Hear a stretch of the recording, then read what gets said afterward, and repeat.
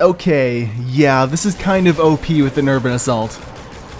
How's it going guys? My name is Czecher and welcome to today's video. We finally have the Tiger Assault Rifle, but is it any good? Spoilers, it's pretty good.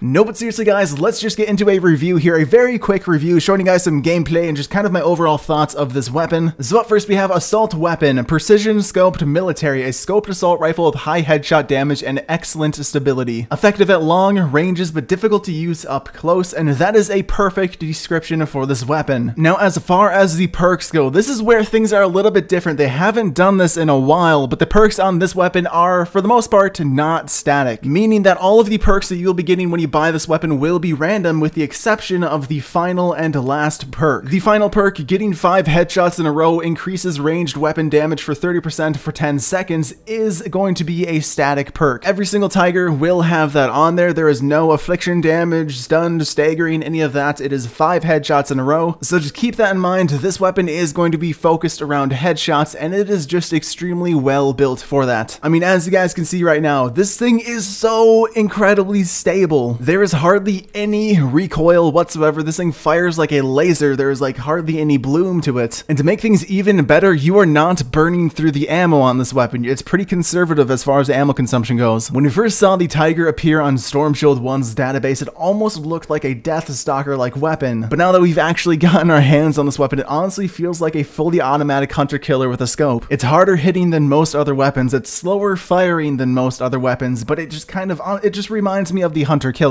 Except this time around, you're not mashing that fire button because, I mean, it's a fully automatic weapon, you don't need to. That being said, you can still get shots off faster with the hunter killer, but honestly, this just kind of makes things easier, and it kind of, I don't know, I just like it better. And this weapon is kind of turning into my smasher killing weapon. This thing is so incredibly accurate, the recoil is so minimum, the headshot damage is very, very good. I mean, this thing is just perfect for killing smashers, and it's not only just good for that. There's a lot of weapons in Save the World that are utterly and just way too specific. This weapon does not fall under those same circumstances. It's actually pretty good all around. You can use this weapon for normal husks. You aren't going to be hindered by it. You can even use this weapon up close and personal if you really need to. I wouldn't really recommend it, but I mean, obviously, sometimes you just have to do what you have to do. So it's actually at least somewhat usable and can definitely get you by, definitely get you out of those toughest situations. But other than that, guys, there's not really a whole lot else that I can think to say about this weapon. It's a dang good weapon. Like I said before, the perks on this weapon are mostly fluid. Every single one of them is fluid except for the last perk, which of course is static. And with the perk Recombobulator, you can now make this weapon pretty much what you want. It can be a nature weapon, it can be a fire weapon, it can be a water weapon, it can be a physical weapon. You know, I myself am going to be making this a water weapon just because it always seems like in higher levels there's a lot more fire enemies. But in conclusion, buy this weapon. It is definitely, definitely worth it. It has probably been the most worth it weapon since we've seen the Hydra, in my opinion. Speaking of opinions though, what do you think of this weapon? Is it worth it? Is it not worth it? Does it look cool? Do you think you'll pick it up? Let me know down below, but thanks guys for watching today's video. Hope you guys enjoyed, and I'll see you guys next time.